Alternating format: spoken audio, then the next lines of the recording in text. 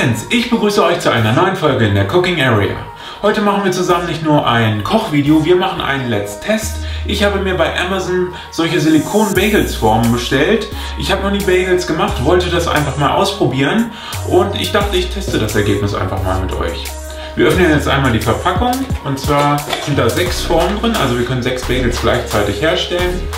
In der Verpackung ist eine Beschreibung und äh, sind Rezepte, damit wir auch die perfekten Bagels machen können.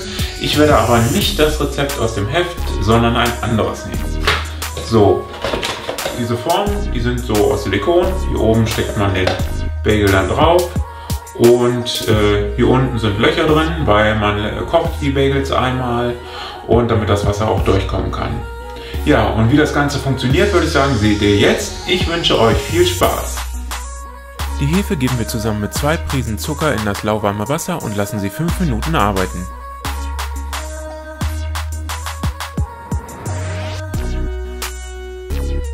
Mehl, der restliche Zucker, Salz und das Hefegemisch werden zu einem geschmeidigen Teig verknetet.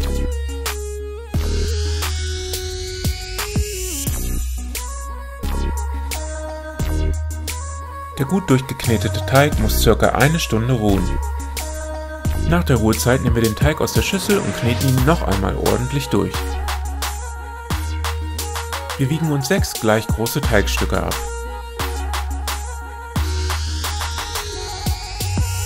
Die Teigstücke formen wir zu flachen, runden Kreisen.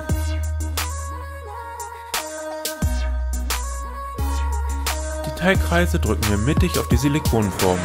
Habt ihr keine Silikonform, nehmt ihr einfach zwei Finger und formt ein 3 bis 4 cm großes Loch in die Mitte.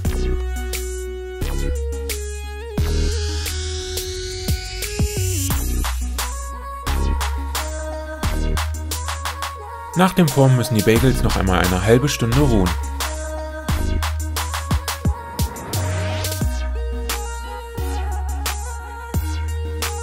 In anderthalb Liter kochendes Wasser geben wir unseren Honig und lassen ihn auflösen. Einzeln geben wir die Bagels in das Honigwasser und lassen sie für 10 bis 20 Sekunden kochen.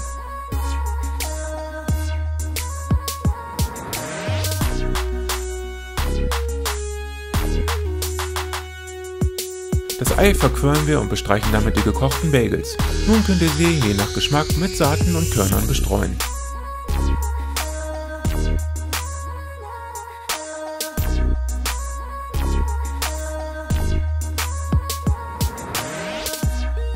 Im Backofen müssen die Bagels bei 220 Grad Ober- und Unterhitze ca. 20 bis 25 Minuten backen.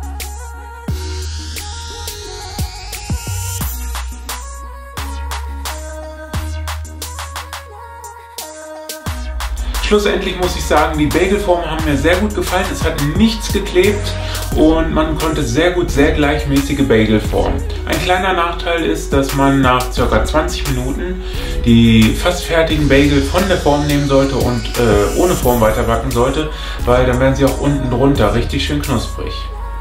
Das war das Video für heute. Wenn es euch gefallen hat und ihr weiterhin Produkttests sehen wollt, dann gebt mir doch einen Daumen nach oben, kommentiert das Video und hier könnt ihr den Channel abonnieren.